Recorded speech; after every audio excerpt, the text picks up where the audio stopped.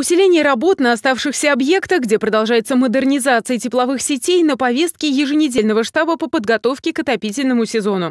Заседание прошло в Департаменте городского хозяйства и экологии. В первую очередь во всех нюансах разобрали ситуации, касающиеся сложных участков, которые находятся на улично-дорожной сети с оживленным движением. Сейчас к таким объектам относят Московское шоссе. Проезжую часть там планируют привести в порядок уже к этой субботе и полностью открыть движение.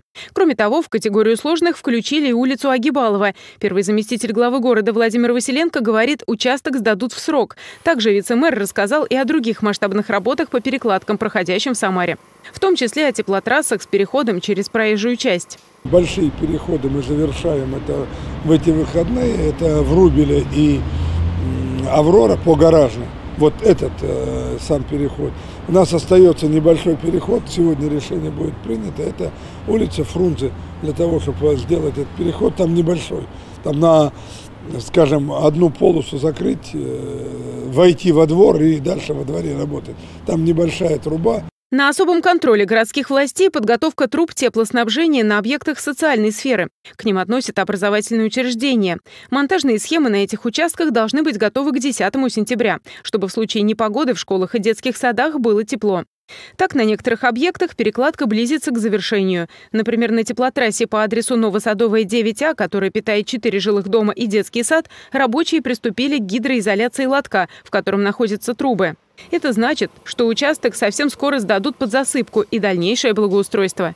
Уже выполнено 80% работ. На данный момент э, сварочные работы, сварочный монтаж работ закончены.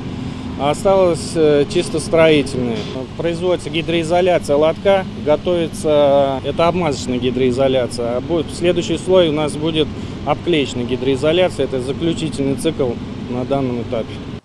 Битумная мастика и специальный гидроизоляционный материал служат дополнительной защитой. Для этого предназначен усиленный монолитный лоток, в который уложены трубы. Они разного диаметра. Одни для отопления, другие для горячего водоснабжения, которое пока обеспечивается за счет временной линии. Предусмотрены элементы системы оперативного диспетчерского контроля. В случае возникновения утечки об этом сразу станет известно. Сейчас на объекте задействовано 17 специалистов и 8 единиц техники. Поставлена задача к концу недели завершить перекладку труб, а затем провести благоустройство участка. После этого работы начнутся от Новосадовой 13 в направлении Осипенко. В этом году специалисты должны выполнить ремонт и техническое перевооружение 58 участков тепловых сетей. Срок завершения работ 15 сентября. Виктория Шара и Михаил Ермоленко, Григорий Плешаков. События.